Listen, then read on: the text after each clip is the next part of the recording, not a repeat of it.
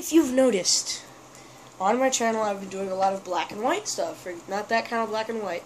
Uh, like, we use the my chalk paint over here black and white, the Godzilla's black and white, the thumbnail's even black and white.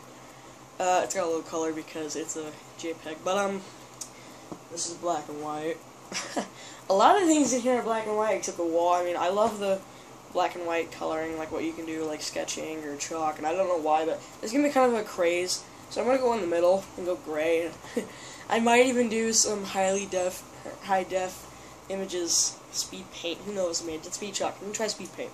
So I'll see you guys in the next video, and that will be Wednesday. Nah, I'm just kidding. It'll be later today.